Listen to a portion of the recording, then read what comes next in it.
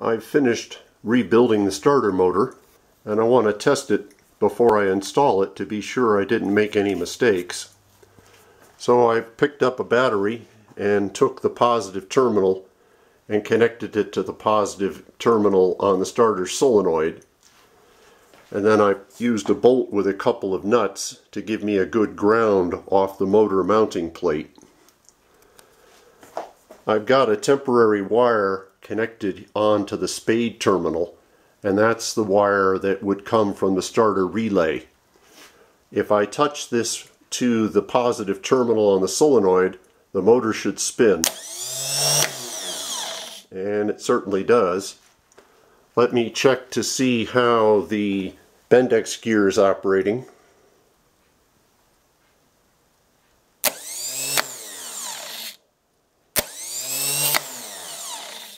Well, everything seems to be working correctly.